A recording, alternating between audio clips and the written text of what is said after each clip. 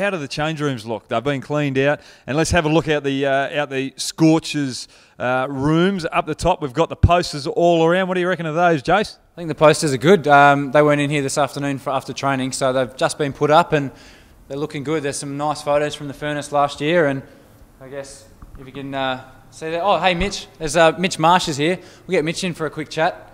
Rightio, as you can see, you've got a shot going up the nostrils here. Hopefully, the runs are flowing as well as the uh, the uh, stuff coming out of my nostrils. But we've got Mitch Marsh here. Mitch, uh, thing on your lip there, and not being on the banner. You're not having a very good week, are you?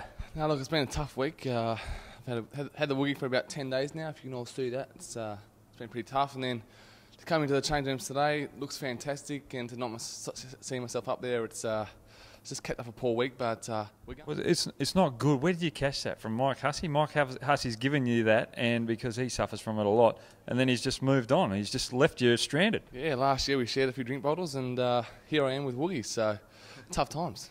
Uh, what do you think of the change rooms, mate? Change rooms are fantastic, mate. Um, I think it looks great. We've got our values up there, all the boys with uh, you know celebrating success, and uh, here's to a few more wins this year. All right, can you just go quickly through the values of the Scorchers?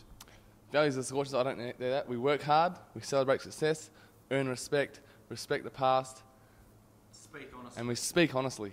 Speak honestly, and I'll tell you what, the, the, youngsters around the Perth Scorchers, me being the grandfather of the team, they've got huge respect from me because they work hard, they play hard, they celebrate success. I've got to look up there, they speak honestly, and, well, quite frankly, they don't respect their past because I get a lot a lot of flack around this group. So, uh, how do you think we'll fare, Mitch? I think we're going to go very well, mate. Um, if we train as hard and, and do everything right off the field like we have done the last couple of years, then um, I reckon we'll be right to go. And we were just talking about marriages with Jace. He's getting married in 2014. Your brother's getting married in uh, 2014.